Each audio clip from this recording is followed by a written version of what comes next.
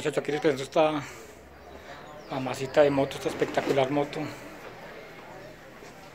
Es una Kawasaki Z1000.